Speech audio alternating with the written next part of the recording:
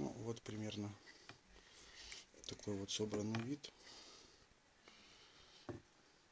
То есть видно, что никакого зацепления, кроме магнитных полей, здесь нет. Вот. То есть на разрыв, в данном случае зазор меньше, чем 5 миллиметров. Поэтому сейчас где-то на разрыв килограмм 25, там около даже 26 где-то получалось. Но, к сожалению, не так просто это снять и показать самостоятельно. Вот, думаю, что проще будет поверить на слово. Ну вот, в принципе, такая вот конструкция.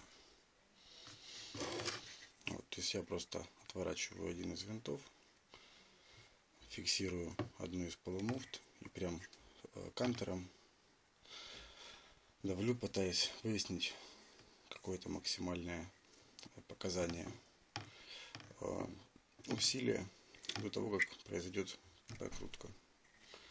Вот. Но очень жестко держит, то есть получается, что для того, чтобы проскочить, проскользнуть, вот получается парные магниты, если здесь притягиваются, то следующие между собой отталкиваются. Получается, нужно преодолеть, разорвать значит, усилие притяжения, а и одновременно преодолевать усилие отталкивания. Вот, поэтому получается усилие достаточно большое. Ну, вот примерно так.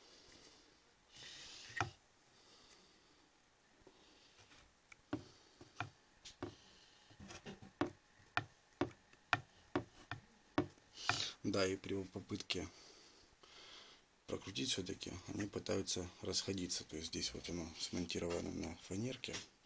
Это очень хорошо заметно. То есть,